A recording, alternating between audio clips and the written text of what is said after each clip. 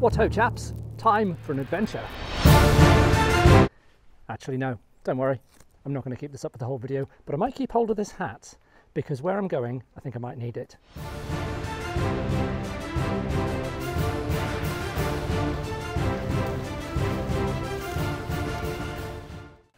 This is Hoyle's Mouth Cave in Penally. It might look like just a dark hole in the hillside, but it's actually one of the most important prehistoric sites in Wales. Inside this cave, archaeologists have found stone tools, the remains of woolly mammoth, reindeer, wild horses, and even the woolly rhinoceros. Even Charles Darwin took an interest here. In the 1840s, he wrote to a local rector asking for him to be sent samples of finds from the cave.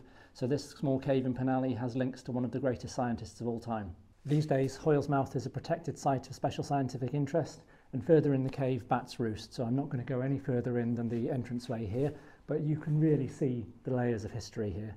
So from mammoths to Darwin to bat roosting, this cave really does hold a lot of secrets. We'll leave it undisturbed for now, but it was quite an adventure getting here.